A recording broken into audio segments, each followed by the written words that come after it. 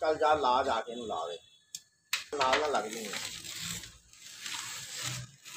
ਇਹਨੇ ਬੇਸ ਸੀਗਾ, ਉਹ ਕਿੱਥੇ ਹੈ ਪੁਰਾਣੀ ਮੋਟਰ ਦੇ ਕੋਲ। ਉਹਦੇ